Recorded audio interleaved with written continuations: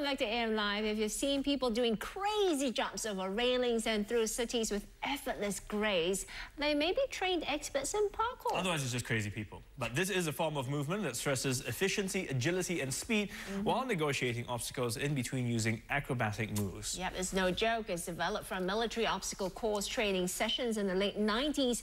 Parkour has become increasingly popular, with it being featured in films like James Bond's Casino Royale and Prince of Persia. And now it is gaining traction in the region. And in Singapore, three training schools have been set up in the last two years to cater to the growing number of enthusiasts here. So this morning we have with us Derrick Siu, the founder of Superfly Monkey Dragons Parkour Free Running Academy to tell us more. Very good morning, good morning. to you. What morning. an interesting title. Anyways, parkour, how would you define it?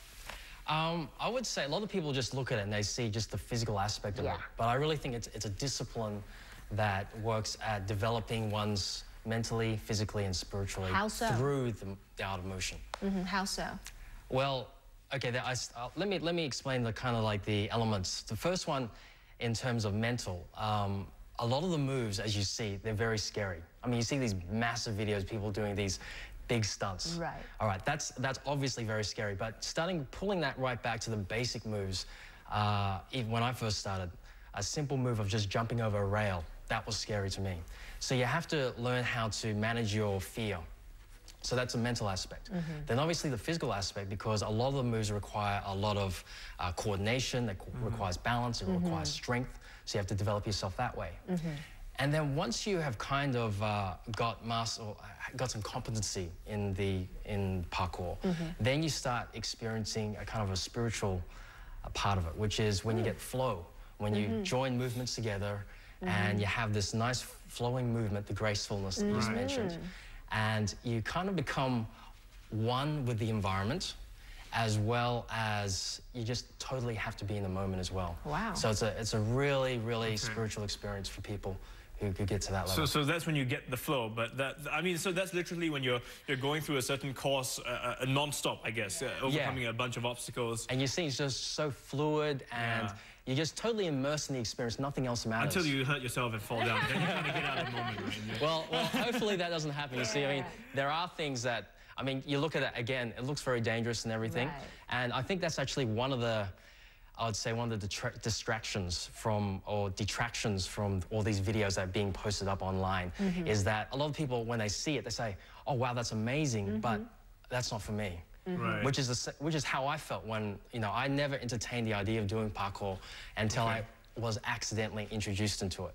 Right. So, um, but then again, it also requires training because uh, these yeah. are moves that you shouldn't do just on the spur of the moment. You can actually hurt yourself quite badly if you don't do it mm -hmm. correctly, right? Absolutely. And the correct way of training is that you must condition your body first. How long does it take? For example, what sort of training are we talking about? Okay, well, there's, I'd say there's like the two two components of the training. Firstly, there's the strength and conditioning.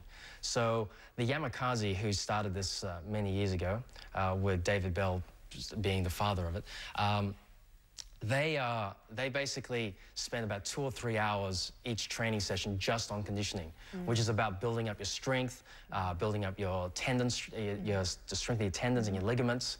So you really need to have total body conditioning before you start attempting really big jumps or anything that requires that, you know, it's very demanding discipline, so you, you need to do that. Mm -hmm. Mm -hmm. Okay. And, and, that also minimizes injuries because if your body's not ready for it and you try and do a, a really yeah. big movement, then obviously you're going to hurt yourself. Okay. And, just, and, remind people too that when they see the clips, I mean, it, the, the, guys have practiced through those uh, exactly. runs uh, many times. It's not a, a one-off, you know, and many Absol years. And there's probably, they took a lot of takes. I yeah, mean, probably, that's right. guaranteed. To achieve that flow, that chi, you know. Yeah. With this sport, how much of it is, is strength required? And how much of it is just, I mean, so the stronger guys fare better or, or what?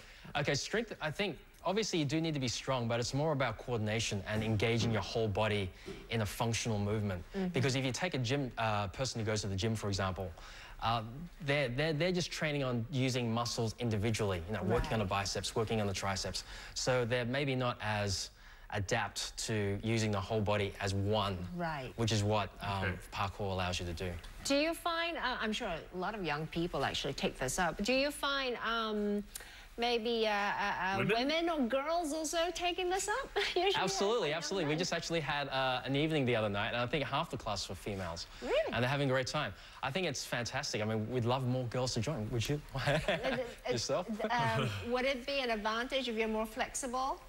Um, yeah, well, I think so. Obviously, uh, being a girl, you have some advantages and some disadvantages.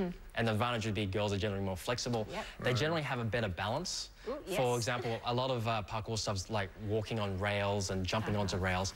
I What was terrible like at it. Yeah. Yeah, but girls But- do but- it easily. They but can do it Derrick- first time. You know, parkour sounds a lot like a local term, pak tor, right? Which means dating. Yeah. And it's very similar because... I wish I was an expert on that. Uh, but you see, it, it requires a physical, physical sort of strength, agility. It's a mental game, and when you're in the flow, it's all go. Wow, it's all good, you're an right? So it's like it's like dating. It's like pak We- tor. we've got- I think, I think we should join forces and we could do the Parkour Parkour Academy. You, you Yeah. can uh, you can go pak tor by going for parkour. Okay, enough Ah, of there you go. Parkour and a parkour expert. Anyways, uh, we've been talking to Derrick Siu about the rising interest in parkour. It's a form of movement which Mm-hmm. uses your natural body skills like, you know, jumping and climbing to navigate obstacles Yeah, in your path. It's really to strengthen condition, not really uh, with the ultimate motive to do something crazy. No, no, no. It's all very well planned out. Just remember, don't try it out on your own at Very home. well you do need to do need to train yourself and, and do it under proper supervision.